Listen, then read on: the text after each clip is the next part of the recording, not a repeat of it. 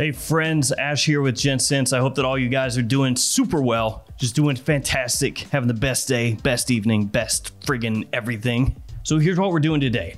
I went to Macy's.com because Macy's moves the most product in terms of fragrances, and I sorted by bestsellers because that's gonna tell me what most casual people, normal people, I guess you'd say, are buying right now. And only being able to look at the first page of bestsellers, the first 60 scents, I can choose 10 and keep those for myself. Everything else gets trashed. I think I own like every single fragrance on that bestsellers list. but uh, we're keeping 10. Let's jump into it. I'll show you guys what I picked.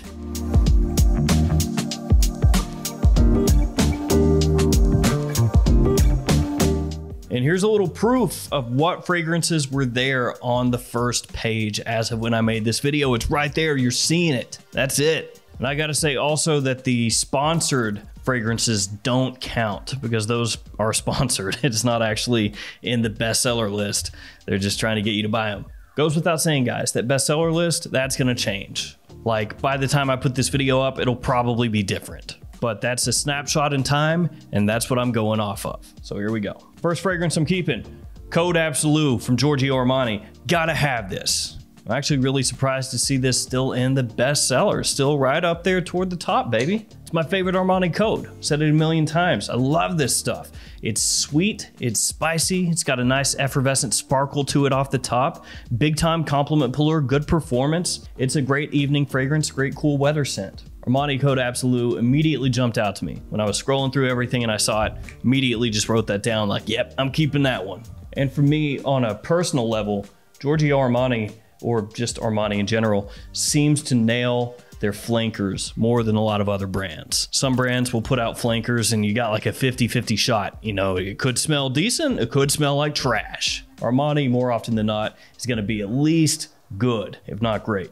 Oh, and in case uh, it wasn't obvious since these are the best sellers on the first page of Macy's, these are all gonna be pretty common fragrances. You're gonna recognize these, or you should. Second fragrance I'm keeping, Y Eau de Parfum from Yves Saint Laurent. Now that first bestsellers page is loaded to the gills with blue fragrances. I mean, they're everywhere. You've got Sauvage, you got Bleu de Chanel, you got Y, you got a whole mess load of them on there. Y Eau de Parfum has never let me down.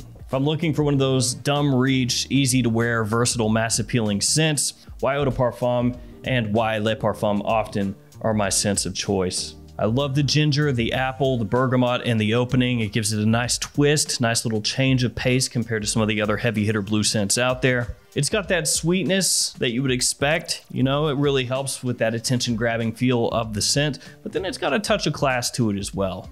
So Y Eau de Parfum, I'm gonna throw that in my bag. I'm gonna keep that one. Now this next one I feel like could be in its final days, but I'm hoping not.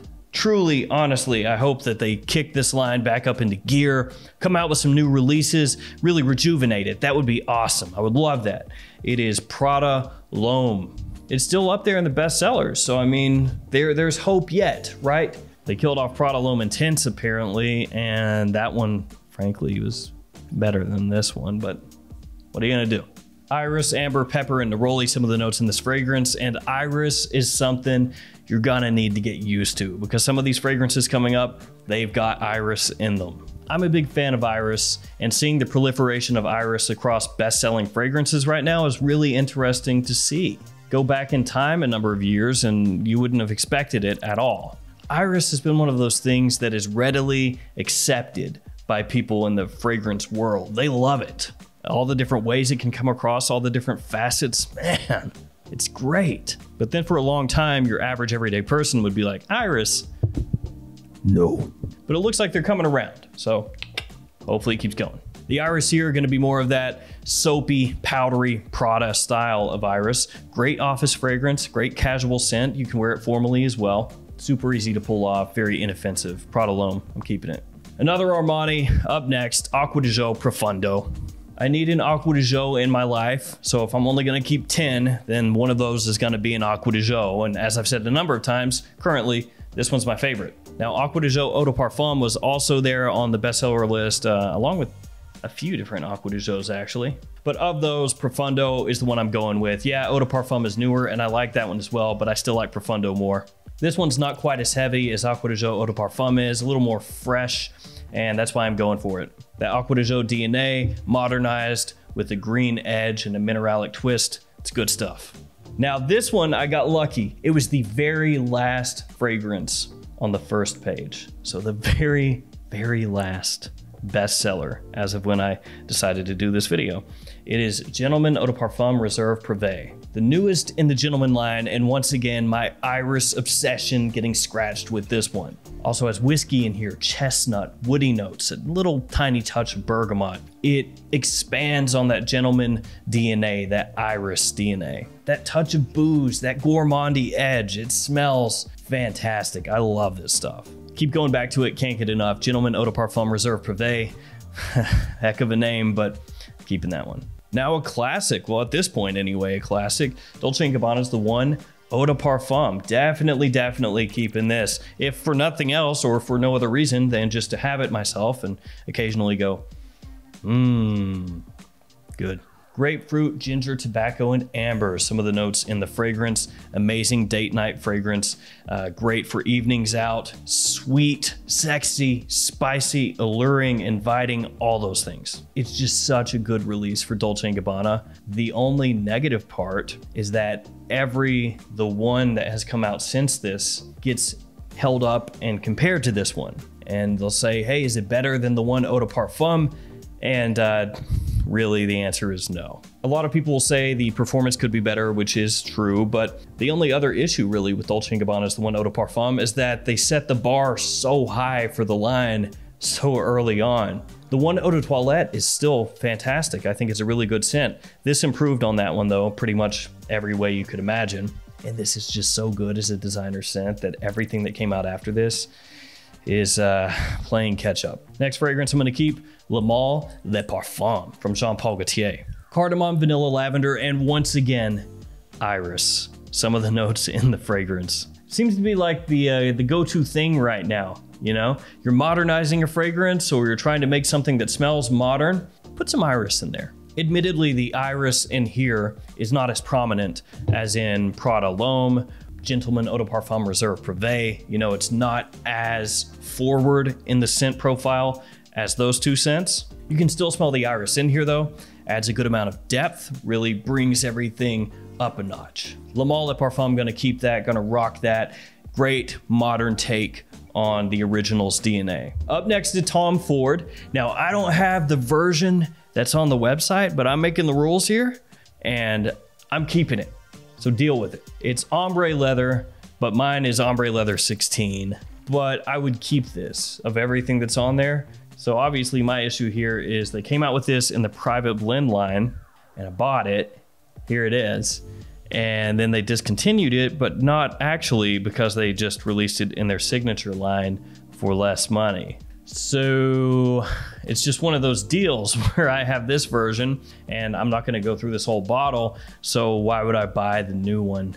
It's kind of where I'm at. You know, Tom Ford got me once, right? But not going to get me again. Leather, cardamom, saffron, amber, some of the notes in the scent, really nice. This is a very, very, very good leather fragrance with a lot of wearability, actually. A lot of people will tell you that this is an easier to wear take almost on Tuscan leather. I mean, definitely there are similarities between this and Tuscan leather, but there are differences as well. Regardless, though, when you look through that bestsellers page, that first page, the Tom Ford just jumped out to me right away. And I thought to myself, man, if I'm only gonna get 10 here, one of them is gonna be that.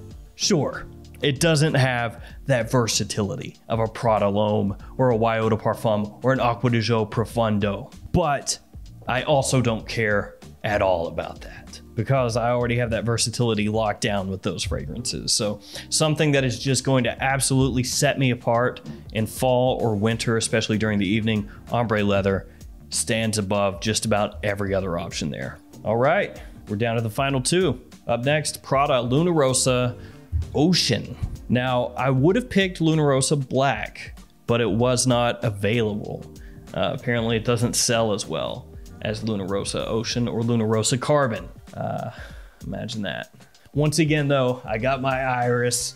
This does have iris in it, which makes sense because it is Prada and they love iris. It is not, though, that very powdery type of uh, iris that you're going to find in Prada L'Homme. So even though there is iris here and it is a Prada, it's not the same type of iris. Obviously, another blue fragrance. So versatility, mass appeal, compliment factor. That's what this is manufactured for. Made to be worn pretty much anytime, anywhere. Yes, the name Luna Rossa Ocean, the blue bottle, all that is gonna make you think summer, daytime. But realistically, the type of scent that this is, you can use it year round. Luna Rossa Ocean, I think smells really nice. Keep going back to it. And it's not as played out for me as Dior Sauvage or Bleu de Chanel. And don't take that as me saying Sauvage smells bad, Bleu de Chanel smells bad. They don't at all. It's just I've worn those a lot more. And so at this moment in time, I'll take Luna Rossa Ocean. Last scent, Tom Ford once again, Noir Extreme. I've got to just got to. I mean, you put this on there with all the other fragrances that I have options to take, and I've already got pretty much all my bases covered here fall, winter, spring, summer, daytime, nighttime, all that stuff. I'm gonna take this because this is probably the most unique smelling fragrance that's available on that bestsellers page. Vanilla, wood, spices, kulfi, some of the notes, not coffee, kulfi. This is a stunning fragrance. Going to be better for cool weather, evening situations, formal situations, black tie situations. Tom Ford Noir Extreme smells great. I was really pumped to see this one available. So there we go. Those are the 10 that I'm keeping. Let me know in the comments some of the ones that you would pick that I didn't. And as always, thank you guys for hanging with me. Thank you for your support. Stay safe out there. I'll see you tomorrow with another fragrance video. See you guys later.